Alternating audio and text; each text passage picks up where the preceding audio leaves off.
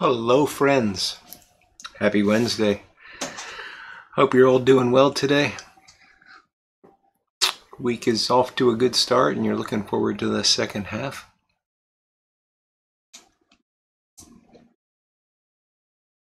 I'm enjoying my uh, my Bari pipe. It's one of the pipes that I got from my friend Danny Shore. And I'm smoking something unusual. I don't have much of this, but it is some uh, Samuel Gawith Kendall Cream Flake from 2015. It's uh, actually quite dry, so I don't think it's got much. Darn tamper. I don't think it's got much uh, going on in the way of uh, Lakeland, but not bad nice change. I was going through my cellar looking for something unrelated, and I came across this, and I thought, well,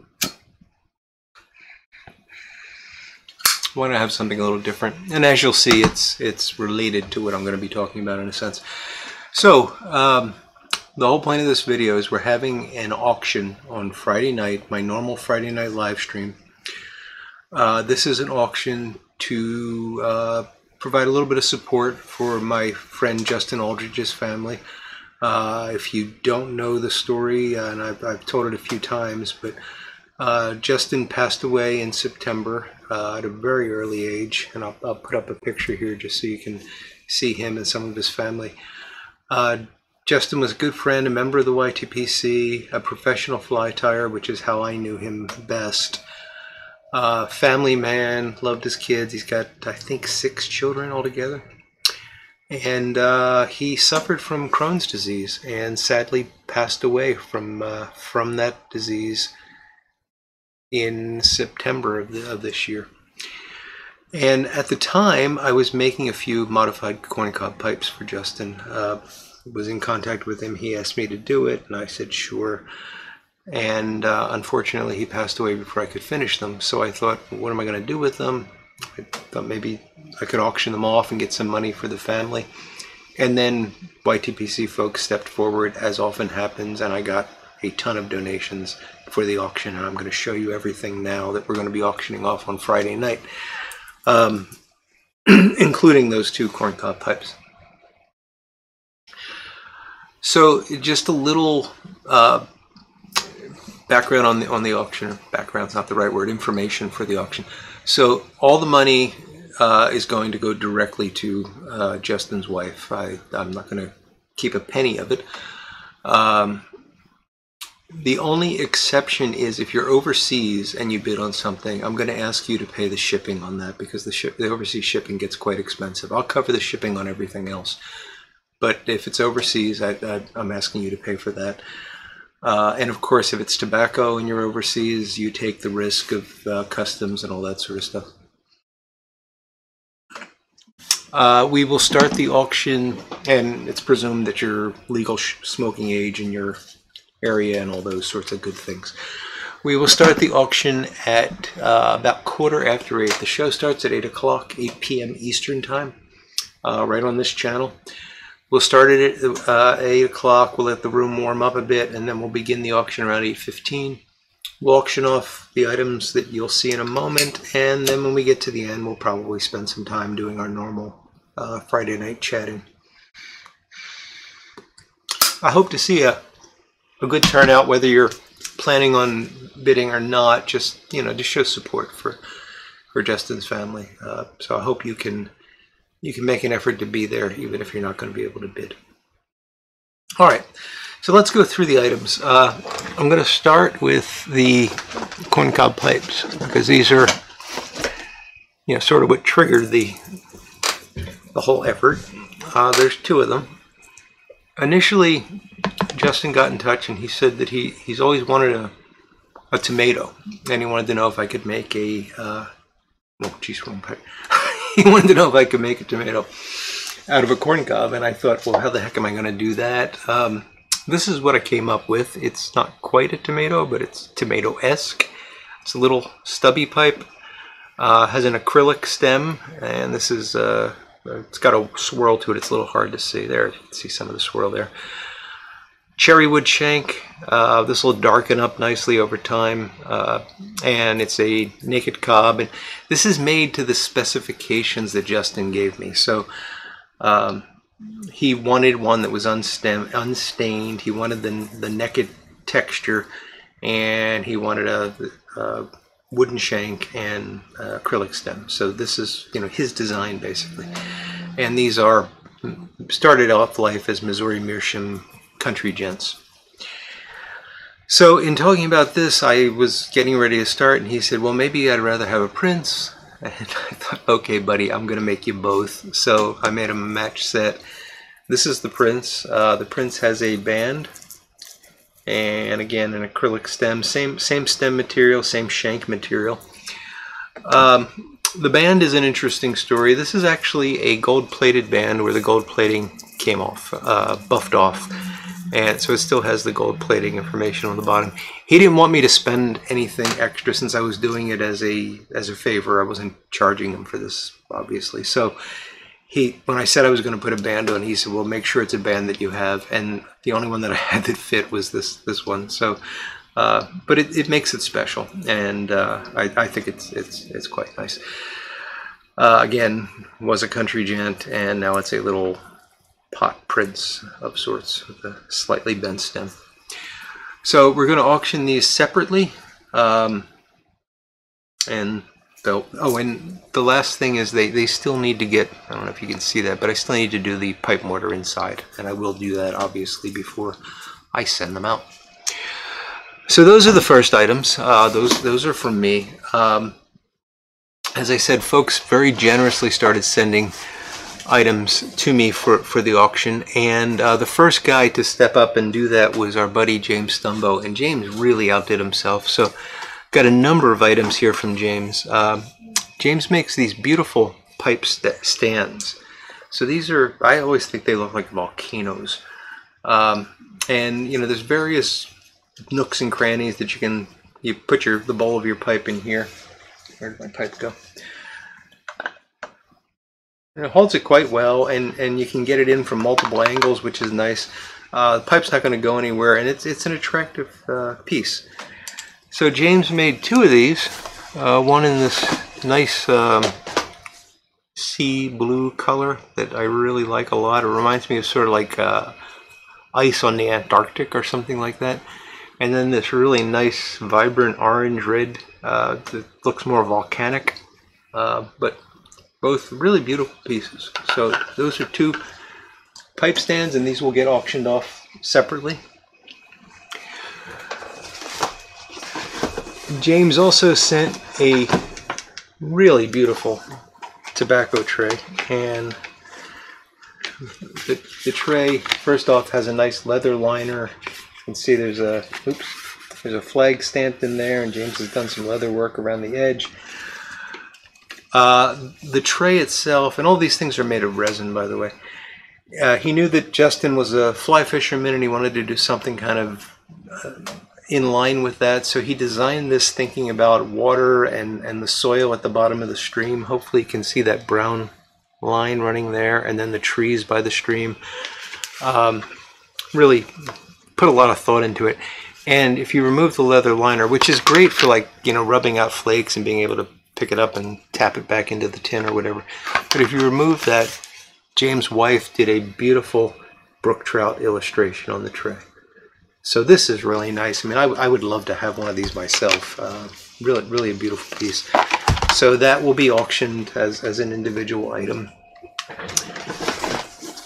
And the last thing from James, again, this will be a separate item in the auction, is this really, really nice uh, handmade knife. Uh,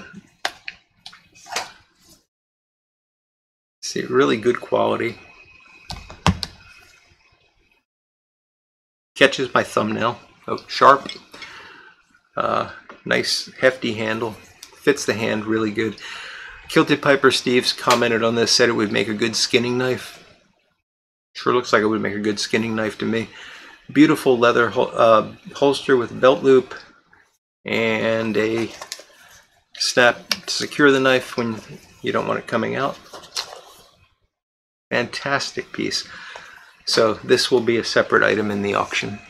So thank you, James, for all of that. Uh, we really appreciate it, and I know that Justin's family appreciates it. Uh, next item is a very special. They're all very special. Uh, this is from uh, Kilted Piper Steve and Miss Kathy. This is one of Miss Kathy's pipe rolls. If you haven't seen these, they're incredible. I, I own one myself. Um, they're great for, you know, if you're going out for the day, uh, fishing, for example. Nice leather wrap that holds it all together. Opens up. This is what it looks like unrolled. There's nice ample pockets on either side that you could use for pipes or tobacco. This part provides you with a surface to prep your tobacco on if you like. You can flip it up and there's slots in here for putting uh, tampers, pipe cleaners, lighters, etc. Really versatile. Um, I use it when I go uh, out on day trips all the time. And uh, the nice thing about it is you, you could get easily get two to three pipes in here and still roll it up very securely. And it just wraps up uh, with that leather tie and the beads help keep everything nice and nice and tight when and it's got this beautiful deer applique on it. So really nice job. Miss Kathy does great work and I appreciate Miss Kathy and Kilted Piper Steve for, for sending this. Uh, importantly, Miss Kathy's only going to make, I think Steve said maybe 10 more of these, and then she's done. She's never going to make another one. So these are going to become rare very soon. So if you want one of these, this is an excellent opportunity to possibly get one. Moving into the realm of tobaccos. We have a number of tobaccos that are going to be auctioned off. Uh, the first one is this John Aylesbury Latakia blend which is a German tobacco. I believe it says 2000. I'll have to put on my glasses to make sure, but let me show that to you while I put on my glasses, which would be a little bit less boring than just watching me put on my glasses. Uh, yes, August of 2000. That's when it was purchased, so I don't know when it was tinned. Uh, presumably before August of 2000. So if you're if you're an English lover, unique blend. I do not believe this is very easy to get, and certainly not easy to get from 2000. Um, so great opportunity to to try out a a unique English uh, tobacco. We also have this is a set of tobaccos that all came in. Uh, by the way, this is from an anonymous donor, and uh, thank you very much for that. We also have a set of tobaccos here that came in from an anonymous donor. There's there's four in total, and I will show you those one at a time. Uh, the first, and this is why I had the uh, Samuel Gawith Kendall Cream out today, is a tin of Samuel Gawith Kendall Cream. Uh, I've had it before. It's it's quite nice. I don't really remember it well, and that's why I got out the uh, the sample that you saw me smoking earlier. Next up, we have uh, tin of Irish Flake. Um, by the way, I should be noting dates on these, I guess.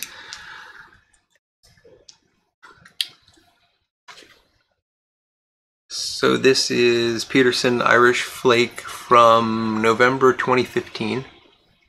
So that's uh, a fair amount of age on it. That should be very nice now. Uh, the Kendall Cream does not have a date on it.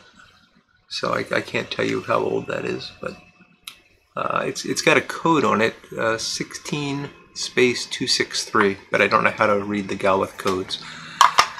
So those two, a pouch. Uh oh, there we go.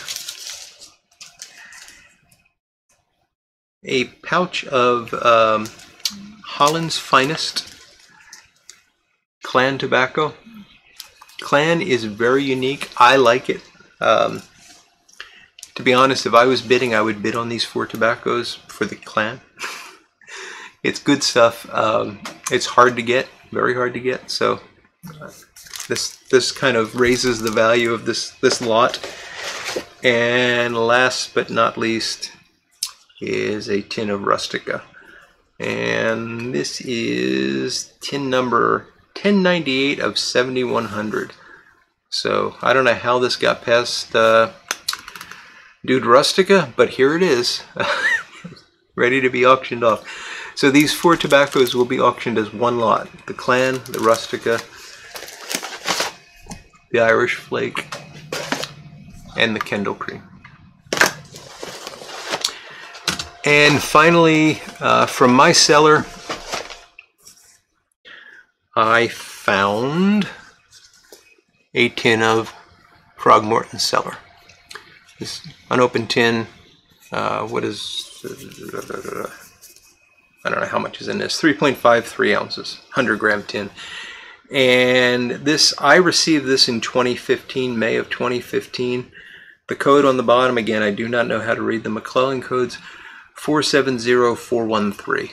So I don't know if that means it was 2013 that this was tinned.